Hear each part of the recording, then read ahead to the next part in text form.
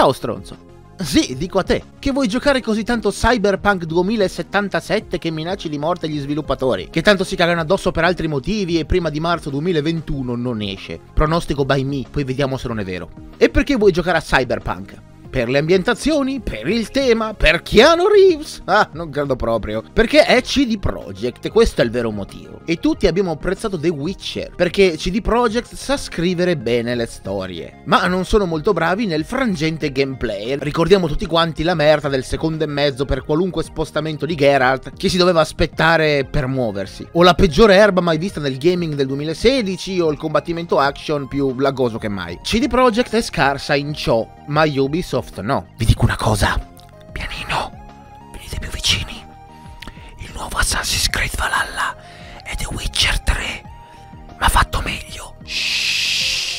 Il nuovo capitolo Valhalla di Ubisoft è un progetto del tutto simile alla nuova piaga intrapresa dalla grande U per la serie di Assassin's Creed. Cerca di raccontare una storia prendendosi il tempo necessario per evitare soluzioni narrative troppo tirate via. Il gioco comincia molto lentamente, non è chiaro fin da subito che strada volesse intraprendere tra racconto e gameplay, con momenti confusionari tra le nuove modalità assedio e razzie, incredibilmente simile allo stile di For Honor. Rileva dei limiti di programmazione per lo studio che ha dovuto subire parecchi colpi durante lo sviluppo, come il Covid o la perdita di uno dei director. Dopo un lungo momento di assestamento che dura all'incirca dalle 10 alle 20 ore di gioco, comincia a essere chiaro nella sua interezza e si sviluppa in una serie di saghe che vedono il protagonista spostarsi nelle varie zone d'Inghilterra per conoscere personaggi molto ben caratterizzati e cercando di farsi degli alleati, come in qualunque GDR di stampo classico. Si tratta quindi come gli scorsi capitoli di un gioco di ruolo open world di stampo action, ma comunque abbastanza parametrico, quindi dovremmo girare per il mondo, salire di livello, sbloccare combo e abilità per progredire progredire. Il sistema di combattimento è molto simile a Odyssey, oltre al roll, al doggiare, ai perri, parate, dovremo imparare a dosare la stamina durante i combattimenti quasi fosse un Souls-like. Ok, no.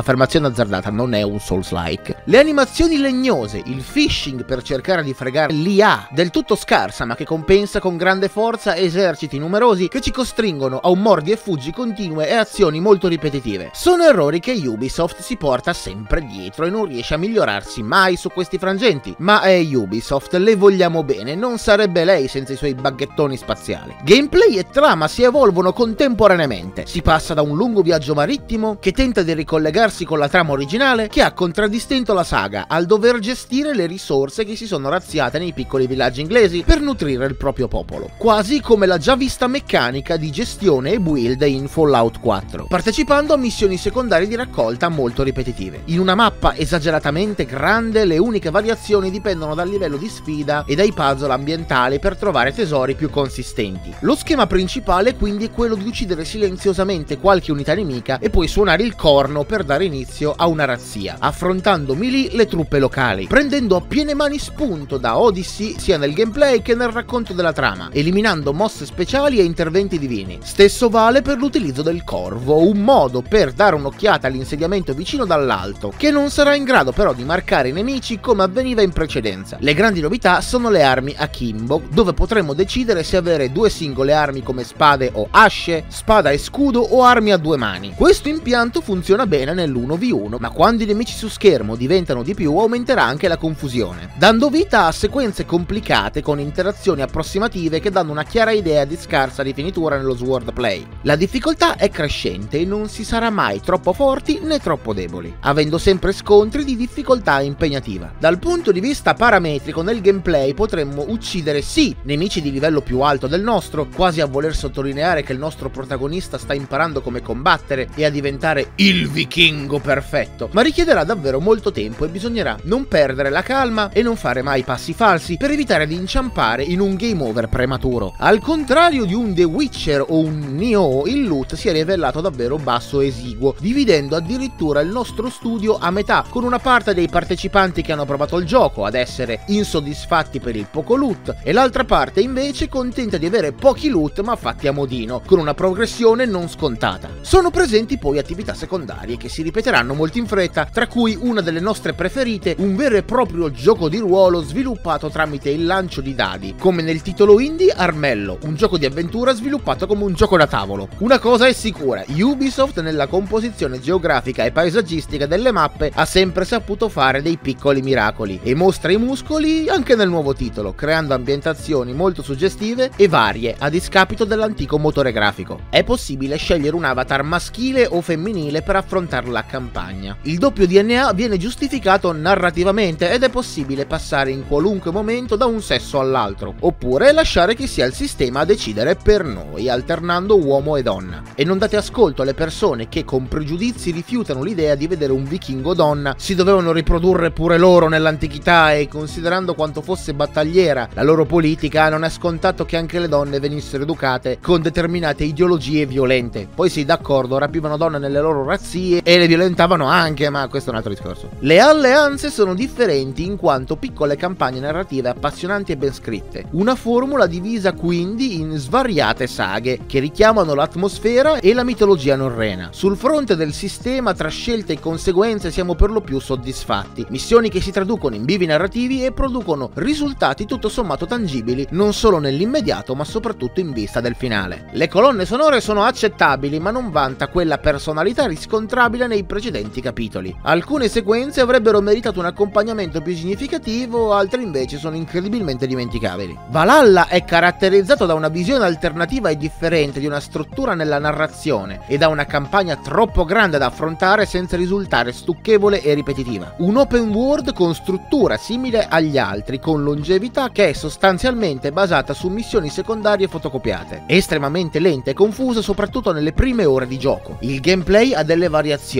ma non bastano a gridare il miracolo. Graficamente invece e nelle composizioni, dalle abbastanza varie ambientazioni, il gioco mostra il suo meglio. Ma si sa, eh, non basta la grafica per fare un gioco nuovo. Quindi sì, sono usciti da poco, quindi sono nuovi, ma la formula è di un gioco vecchio, di una o forse due generazioni fa.